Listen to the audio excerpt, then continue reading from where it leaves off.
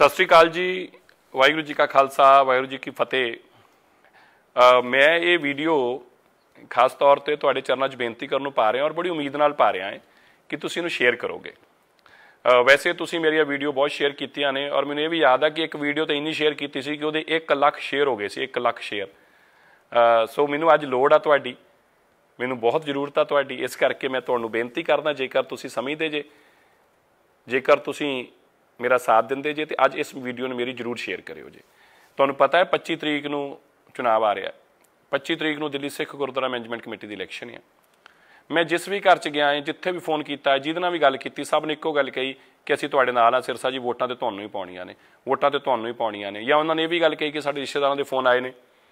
ਕਿਸੇ ਨੇ ਕਿਹਾ ਮੈਨੂੰ ਵਿਦੇਸ਼ ਤੋਂ ਫੋਨ ਆਇਆ, ਕਿਸੇ ਨੇ ਕਿਹਾ ਮੈਨੂੰ ਕੈਨੇਡਾ ਤੋਂ ਆਇਆ, ਕਿਸੇ ਨੇ ਕਿਹਾ ਬੰਬੇ ਤੋਂ ਆਇਆ, ਕਿਸੇ ਨੇ ਕਿਹਾ ਹਲਦਵਾਨੀ ਤੋਂ ਆਇਆ, ਕੋਈ ਯੂਪੀ ਤੋਂ, ਹਰ ਜਗ੍ਹਾ ਤੋਂ ਰਿਸ਼ਤੇਦਾਰ ਦੱਸ ਰਹੇ ਨੇ, ਇੱਕ ਦੂਜੇ ਦੇ ਫੋਨ ਕਰ ਰਹੇ ਨੇ ਔਰ ਸਾਰੇ ਇੱਕ ਦੂਜੇ ਨੂੰ ਕਹਿ ਰਹੇ ਆ ਕਿ ਵੋਟਾਂ ਜ਼ਰੂਰ ਪਾਓ ਯਾਰ ਕੀ ਮੈਂ ਇਸ ਕਰਕੇ ਵੀਡੀਓ ਪਾ ਰਿਹਾ ਕਿ ਮੈਂ ਤੁਹਾਨੂੰ ਜਿਵੇਂ ਪਹਿਲਾਂ ਕਿਹਾ ਕਿ ਮੈਨੂੰ ਤੁਹਾਡੀ ਲੋੜ ਆ। ਜਿੱਥੇ ਵੀ ਤੁਸੀਂ ਮੈਨੂੰ ਯਾਦ ਕੀਤਾ, ਮੈਂ ਜ਼ਰੂਰ ਹਾਜ਼ਰ ਹੋਇਆ ਹਾਂ ਔਰ ਮੈਨੂੰ ਪਤਾ ਵੀ ਲੱਗ ਗਿਆ ਹੈ ਕਿ ਕਿਤੇ ਸਿੱਖ ਤੇ ਕੋਈ ਦਿੱਕਤ ਆਈ ਆ ਤੇ ਮੈਂ ਉੱਥੇ ਵੀ ਪਹੁੰਚ ਗਿਆ, ਬਿਨਾ ਬਿਨਾ ਕਿਸੇ ਦੇ ਕਿਹਾ ਵੀ ਮੈਂ ਪਹੁੰਚਿਆ। ਮੈਂ ਕੋਸ਼ਿਸ਼ ਕੀਤੀ ਹੈ ਕਿ ਦੇਸ਼ ਔਰ ਦੁਨੀਆ ਦੇ ਅੰਦਰ ਸਾਡੀ ਸਿੱਖਾਂ ਦੀ ਤਾਕਤ ਕੀ ਆ, ਸਾਡੀ ਹੋਂਦ ਕੀ ਆ ਉਸ ਨੂੰ ਸਰਕਾਰਾਂ ਨੂੰ ਦੱਸਿਆ ਜਾਵੇ। ਔਰ ਮੈਂ ਉਹਦੇ ਵਿੱਚ ਬਹੁਤ ਜ਼ਿਆਦਾ ਗੁਰੂ ਤੇਗ ਬਹਾਦਰ ਸਾਹਿਬ ਜੀ ਦੀ ਕਿਰਪਾ ਸਦਕੇ ਕਾਮਯਾਬੀ ਹਾਸਲ ਕੀਤੀ ਆ। ਅੱਜ ਦੇਸ਼ ਦੀਆਂ ਸਰਕਾਰਾਂ ਜਿਹੜੀਆਂ ਨੇ, ਭਾਵੇਂ ਕੋਈ ਸੂਬਾ ਹੋਵੇ, ਉਹਨਾਂ ਨੂੰ ਪਤਾ ਹੈ ਕਿ ਇੱਕ ਦਿੱਲੀ ਸਿੱਖ ਗੁਰਦੁਆਰਾ ਮੈਨੇਜਮੈਂਟ ਕਮੇਟੀ ਆ। ਜੇ ਸਿੱਖਾਂ ਤੇ ਕੋਈ ਵਾਰ ਹੋਏਗਾ, ਜੇ ਅਤਿਆਚਾਰ ਹੋਏਗਾ, ਜੇ ਉਹਨਾਂ ਤੇ ਵਧੀਕੀ ਹੋਏਗੀ, ਤੇ ਦਿੱਲੀ ਕਮੇਟੀ ਪਿੱਛੇ ਆ ਕੇ ਖੜੀ ਹੋ ਜਾਏਗੀ। ਔਰ ਖੜੀ ਹੋਏਗੀ, ਤੇ ਫਿਰ ਸਾਨੂੰ ਪਿੱਛੇ ਹਟਣਾ ਪਊਗਾ। ਇਸ ਕਰਕੇ ਸਾਰੀਆਂ ਸਰਕਾਰਾਂ ਅੱਜ ਆਪਣੀ ਤਾਕਤ ਨੂੰ ਜਾਣਦੀਆਂ ਨੇ ਔਰ ਆਪਣੀ ਇਸ ਤਾਕਤ ਦੇ ਚੱਲਦੇ ਕੋਈ ਵੀ ਕਾਰਜ ਕਰਨ ਤੋਂ ਪਹਿਲਾਂ 100 ਵਾਰਾਂ ਸੋਚਦੀਆਂ ਨੇ। ਚਾਹੇ ਤੁਸੀਂ ਦੇਖਿਆ ਹੋਵੇ ਕਲਕੱਤੇ ਅੰਦਰ ਬਲਵਿੰਦਰ ਦਾ ਕੇਸ ਹੋਵੇ ਜਾਂ ਪਿਛਲੇ ਦਿਨਾਂ ਦੇ ਅੰਦਰ ਬੰਬੇ ਅੰਦਰ ਰਾਜਵੀਰ ਦਾ ਹੋਵੇ, ਜਿਹਨੇ ਅਜੇ ਦੇਵਗਨ ਦੀ ਗੱਡੀ ਰੋਕੀ ਸੀਗੀ, ਜਾਂ ਦੇਸ਼ ਦੇ ਕਿਸੇ ਵੀ ਕੋਨੇ 'ਚ ਐਸੇ ਹਾਲਾਤ ਬਣੇ ਹੋਣ, ਤੁਸੀਂ ਦੇਖਿਆ ਹੋਊਗਾ ਕਿ ਆਪਣੀ ਤਾਕਤ ਜਿਹੜੀ ਆ ਆਪਾਂ ਸਰਕਾਰਾਂ ਨੂੰ ਮਹਿਸੂਸ ਕਰਾਈ ਔਰ ਸਰਕਾਰਾਂ ਨੂੰ ਝੁਕਣਾ ਪਿਆ ਆਪਣੇ ਅੱਗੇ। ਸੇਵਾ ਦੀ ਗੱਲ ਕਰੀਏ, ਸੇਵਾ ਦੇ ਅੰਦਰ ਵੀ ਅੱਜ ਤੁਸੀਂ ਦੇਖੋ, ਦੇਸ਼ ਔਰ ਦੁਨੀਆ ਜਿਹੜੀ ਆ ਆਪਣੀ ਸੇਵਾ ਦੀ ਚਰਚਾ ਕਰ ਰਹੀ ਆ, ਸਿੱਖਾਂ ਨੂੰ ਦੇਵਤਾ ਦੱਸ ਰਹੀ ਆ, ਦੇਸ਼ ਦੇ ਪ੍ਰਧਾਨ ਮੰਤਰੀ ਨੇ ਵੀ 4 ਦਿਨ ਪਹਿਲਾਂ ਵੀਡੀਓ ਕਾਨਫਰੰਸਿੰਗ 'ਚ ਕਿਹਾ ਕਿ ਜੋ ਸਿੱਖਾਂ ਨੇ ਲੰਗਰਾਂ ਦੀ ਸੇਵਾ ਕਰਕੇ ਦੇਸ਼ ਔਰ ਦੁਨੀਆ ਦਾ ਦਿਲ ਜਿੱਤਿਆ ਹੈ, ਇਹ ਆਪਣੇ ਆਪ 'ਚ ਇੱਕ ਮਿਸਾਲ ਆ। ਕੋਵਿਡ ਦਾ ਸਮਾਂ ਹੋਵੇ, ਲੋਕ ਭਾਵੇਂ ਡਰ ਕੇ ਘਰਾਂ 'ਚ ਬੈਠੇ ਸੀ, ਪਰ ਆਪਾਂ ਲੋਕ ਨਿਕਲੇ ਆ ਬਾਹਰ, ਆਪਾਂ ਜਾ ਕੇ ਸੇਵਾ ਕੀਤੀ ਆ, ਔਰ ਗੁਰੂ ਸਾਹਿਬ ਦੇ ਤਰਸ ਸਦਕੇ ਦਿੱਲੀ ਦੇ ਸੰਗਤਾਂ ਨੇ ਬਹੁਤ ਸਾਥ ਦਿੱਤਾ, ਦੇਸ਼ ਔਰ ਦੁਨੀਆ ਦੀ ਸੰਗਤਾਂ ਨੇ ਸਾਥ ਦਿੱਤਾ ਹੈ, ਔਰ ਆਪਾਂ ਕਾਮਯਾਬੀ ਹਾਸਲ ਕੀਤੀ ਆ।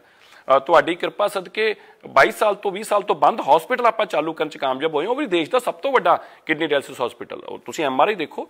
ਤੁਸੀਂ ਲੋਕਾਂ ਨੇ ਉਹਨੂੰ ਚਾਲੂ ਕਰਾਇਆ ਹੈ ਔਰ ਅੱਜ 50 ਰੁਪਏ ਦੇ ਅੰਦਰ ਜ਼ਰੂਰਤਮੰਦ ਲੋਕਾਂ ਦੀ ਐਮਆਰਆਈ ਸੀਟੀ ਹੋ ਰਹੀ ਆ। ਚਾਹੇ ਤੁਸੀਂ ਬੰਗਲਾ ਸਾਹਿਬ ਦੀ ਕਿਚਨ ਦੀ ਗੱਲ ਕਰੋ, ਚਾਹੇ ਗੁਰੂ ਗ੍ਰੰਥ ਸਾਹਿਬ ਮਹਾਰਾਜ ਜੀ ਦਾ ਉਹ ਪਵਿੱਤਰ ਸਥਾਨ ਜਿੱਥੇ ਗੁਰੂ ਸਾਹਿਬ ਦੇ ਪਵਿੱਤਰ ਸਰੂਪਾਂ ਦੀ ਛਪਾਈ ਹੁੰਦੀ ਹੈ ਦੁਨੀਆ ਦੀ ਸਭ ਤੋਂ ਖੂਬਸੂਰਤ ਇਮਾਰਤ ਬਣ ਕੇ ਸਾਹਮਣੇ ਆਈ। ਉਹ ਸਭ ਆਪ ਲੋਕਾਂ ਦੇ ਸਦਕੇ ਹੀ ਹੋਇਆ ਹੈ।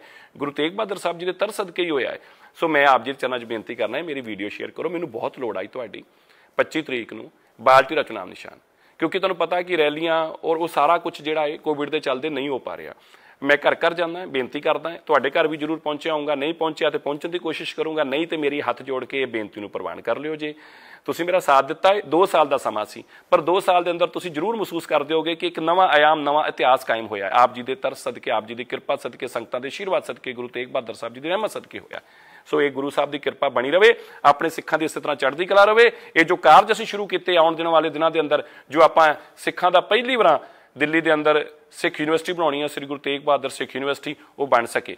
ਜੋ ਆਪਣਾ ਸੁਪਨਾ ਹੈ ਕਿ ਆਪਾਂ ਦਿੱਲੀ ਦੇ ਅੰਦਰ ਪਹਿਲੀ ਵਾਰ ਮੈਡੀਕਲ ਕਾਲਜ ਬਣੇਗਾ ਸਿੱਖਾਂ ਦਾ, ਉਹ ਬਣ ਸਕੇ। ਜੋ ਆਪਣਾ ਸੁਪਨਾ ਹੈ ਕਿ ਦੇਸ਼ ਦੇ ਬੈਸਟ ਸਕੂਲਾਂ 'ਚ ਆਪਣੇ ਸਕੂਲ ਆਉਣ, ਜਿਵੇਂ ਹੁਣ ਤੱਕ 43 ਕਰੋੜ ਰੁਪਏ ਦੇ ਕੇ ਹਿਸਟੋਰੀਕਲ ਅਸੀਂ ਇਹਦੇ ਅੰਦਰ ਬਦਲਾਵ ਲੈ ਕੇ ਆਂਦਾ ਹੈ, ਇਹ ਨਿਰੰਤਰ ਅੱਗੇ ਚੱਲ ਸਕੇ। ਔਰ ਸਾਡੇ ਰਾਗੀ ਢਾਡੀ ਕੀਰਤਨੀ ਜੋ ਸਿੰਘ ਸਭਾਵਾਂ 'ਚ ਕੰਮ ਕਰਦੇ, ਉਹਨਾਂ ਦੇ ਬੱਚੇ ਮੁਫਤ ਅੰਦਰ ਦਿੱਲੀ ਸਕੂਲਾਂ 'ਚ ਪੜ੍ਹ ਸਕਣ। ਇਹਨਾਂ ਸਾਰਿਆਂ ਦੇ ਵਾਸਤੇ ਮੈਨੂੰ ਉਮੀਦ ਆ, ਮੇਰੇ ਨੌਜਵਾਨ ਦੋਸਤਾਂ ਤੇ ਖਾਸ ਤੌਰ ਤੇ ਉਮੀਦ ਆ ਕਿ ਤੁਸੀਂ ਮੇਰਾ ਸਾਥ ਦਿਓਗੇ। ਕਿਉਂਕਿ ਜਦੋਂ ਮੈਂ ਘਰਾਂ 'ਚ ਜਾਂਦਾ ਹੈ, ਪਹਿਲੀ ਵਾਰ ਮੈਨੂੰ ਲੋਕ ਕਹਿ ਰਹੇ ਨੇ ਕਿ ਬੱਚਿਆਂ ਨੂੰ ਵੀ ਪਤਾ ਲੱਗਾ ਦਿੱਲੀ ਕਮੇਟੀ ਕੀ ਆ। ਮਾਪੇ ਕਹਿੰਦੇ ਸਾਡੇ ਬੱਚਿਆਂ ਨੂੰ ਪਤਾ ਹੀ ਨਹੀਂ ਹੁੰਦਾ ਸੀ। ਪਹਿਲੀ ਵਾਰ ਪਤਾ ਆਪਾਂ ਫੋਨਾਂ ਦੇ ਚੱਕਰ 'ਚ ਰਹਿ ਜਾਈਏ ਖਾਲੀ ਤੇ ਉਦੋਂ 25 ਤਰੀਕ ਨੂੰ ਆਪਾਂ ਭੁੱਲ ਜਾਈਏ। ਵੋਟਾਂ ਦੀ ਸੋਚੀਏ ਕਿ ਪੈ ਹੀ ਗਈਆਂ ਨੇ, ਕੋਈ ਲੋੜ ਨਹੀਂ ਹੋਣੀ। ਨਹੀਂ, ਤੁਹਾਡੀ ਇੱਕ ਇੱਕ ਵੋਟ ਦੀ ਲੋੜ ਆ।